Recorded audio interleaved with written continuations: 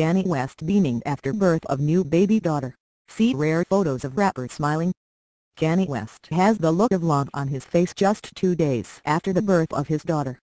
See the sweet pics of Kanye smiling ear to ear. What you're looking at here, folks, is rarer than a holographic Pokemon card, the photo of Kanye West beaming from ear to ear. The perpetually grumpy Kanye, 39, was all smiles while out and about on January 17, just days after the birth of his daughter. Kanye could not stop smiling when he arrived at his music studio in Los Angeles, and was even happy to see the paps.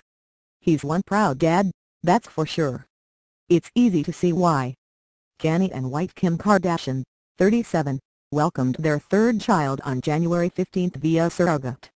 They finally got to meet their newborn bundle of joy, the second daughter for the pair. They must be over the moon with excitement and love.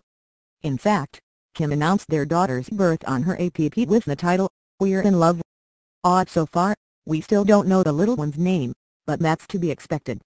It seems like we waited eons before finding out their son, Kanye West's name.